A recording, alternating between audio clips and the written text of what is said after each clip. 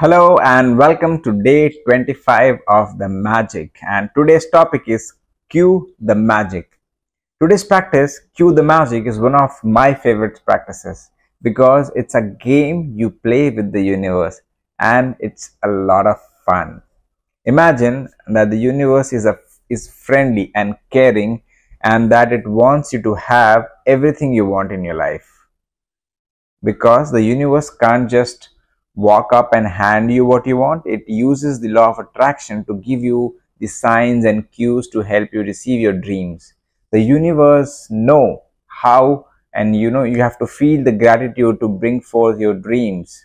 It's it's part of the game, giving you personal cues to remind you to be grateful. It uses like people, circumstances and events that surrounds you in in your day to day as the magic cues to be grateful. It works like this if you hear an ambulance siren, the magic cue from the universe is to be grateful for the perfect health. And if you see a police car, your magic cue is to be grateful for the safety and security. And if you someone reading a newspaper, it's your magic cue to be thank you, thankful for the great news.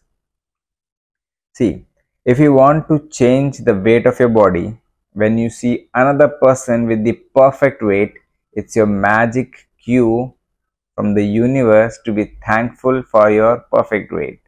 If you want a romantic partner and when you see a couple madly in love, it's the magic cue to be grateful for the perfect partner.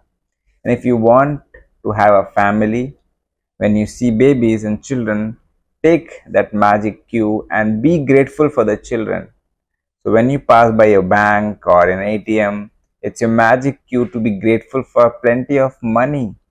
When you arrive home, it's a magic cue to be grateful for your home. And when a neighbor calls in to have a cup of coffee or you wave to them across the street, it's a magical cue to be grateful for the neighbors. See, if you happen to see one of your material desires on your list, such as your dream house, car, motorcycle, shoes, or computer. Of course, it's your magic cue from the universe to be grateful for your desires now. Right? So let's come to our magical practice number 25.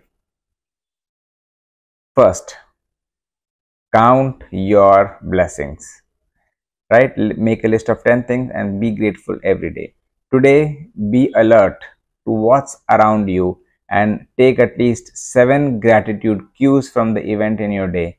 For example, if you see someone with your perfect weight, say thank you for my perfect weight, right? Third, just before you go to sleep tonight, hold your magic rock in one hand and say the magic word thank you for the best thing that happened during the day.